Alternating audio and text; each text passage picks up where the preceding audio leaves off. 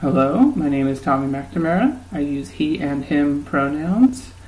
Um, I'm interested in social work due mainly in part to being frustrated often with the state of the world, and I have become tired of feeling frustrated and feel like social work is a good way to help solve some of the problems that frustrate me, to put it in a really roundabout way.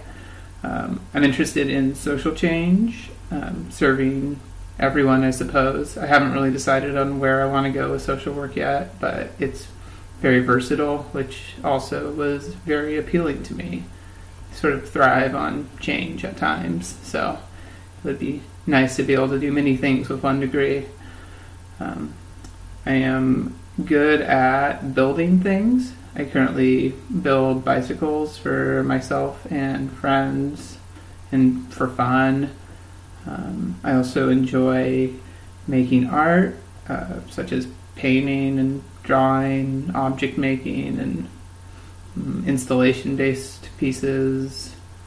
Um, I also do screen printing and have a screen printing studio in my basement. I'm also currently involved with a local Portland based nonprofit called Public Annex, whose mission is the inclusivity of folks with developmental disabilities. Uh, we offer art and farm programming, and I currently help co manage our accessible farm space and have been spending a lot of time building said space over the summer. Um, I'm excited to be here. Uh, it took me a little while to get back to school.